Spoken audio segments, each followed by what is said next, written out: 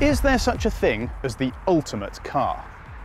No, but if there was, the latest all-new Audi RS4 Avant, on paper at least, has a strong chance of qualifying.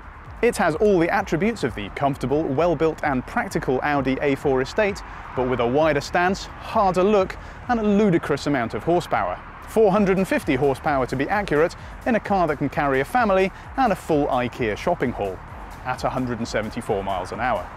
We've come to Spain to try it. There's very little that's more bulletproof than an Audi interior, apart from maybe actual armour plating. The RS4 Avant has brilliant build quality and materials. Up front you have these extra huggy leather wrapped sports seats to keep you in place around the corners, but there's still plenty of room in the back for both kids and adults. Being an Avant, its party piece is the extra large boot, which is slightly bigger than its main rival, the Mercedes AMG C63 Estate. There's plenty of technology in here to keep you both informed and entertained. Audi's MMI infotainment system is one of the best, and it's easy to switch between radio, music, sat-nav and plenty of other features.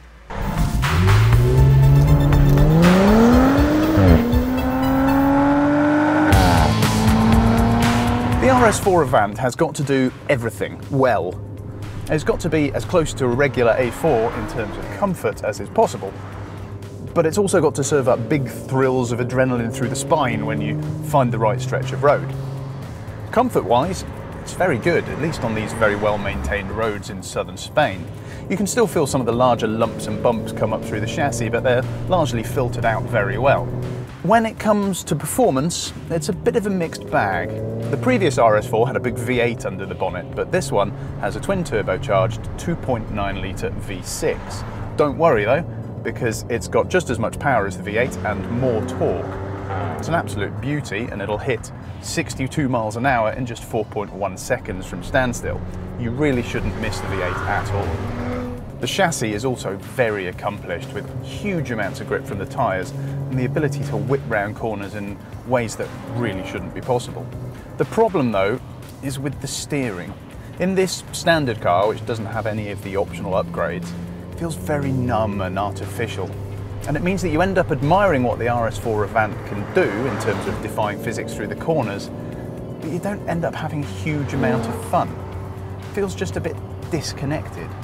Big thrills are not forthcoming, which is a shame. It just feels a bit restrained and sensible.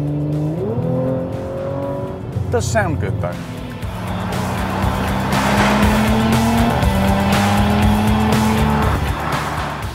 What does this mean? Well, it means that the best way to think about the RS4 Avant is as an A4 estate with lots of power and impressive agility. If you buy one hoping for raw, visceral thrills, you'll probably be disappointed because it's not that. What it is, however, is a very capable, very well made and very fast estate car that will impress the mind while keeping the pulse at a relatively sensible level. If that sounds like your cup of tea, then the RS4 Avant may well be for you. Now for more information on the Audi A4 range, check out our in-depth written review on autotrader.co.uk. If you've enjoyed this video, give us a little thumbs up and let us know what you think of the RS4 Avant by commenting below. Don't forget to subscribe for free to the Autotrader YouTube channel for everything you need to buy your next car.